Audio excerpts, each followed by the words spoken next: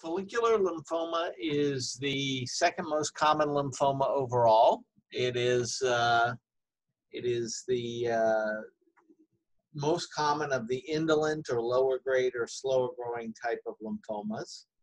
So it is a lymphoma that is typically is a chronic sort of disorder that uh, patients live with a very long time. Most patients with follicular lymphoma don't die from it, most die with it.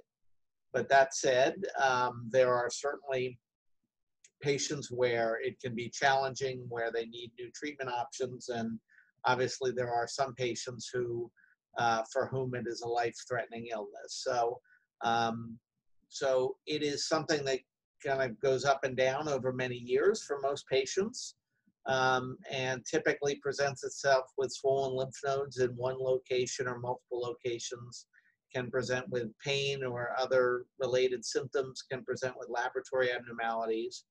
And, um, you know, typically patients are treated with chemotherapy over time when they need treatment. Uh, they often, uh, often patients can be watched if they're not having any symptoms.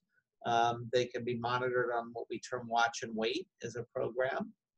Uh, but most people, when they get treatment, uh, get chemotherapy based treatment, although there are a few other options. And over time, patients typically receive multiple uh, different treatment regimens.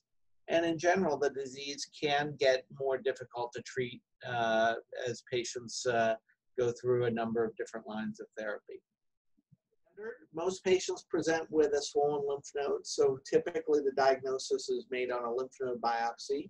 Sometimes it's made from the bone marrow or uh, from biopsy of other tumors in, in other organs of the body, but typically it's made by a biopsy.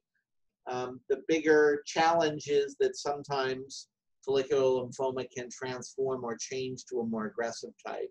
And so that's something that uh, is sometimes a little bit more challenging and would require a follow-up biopsy to see if the lymphoma has changed to a different pathologic type.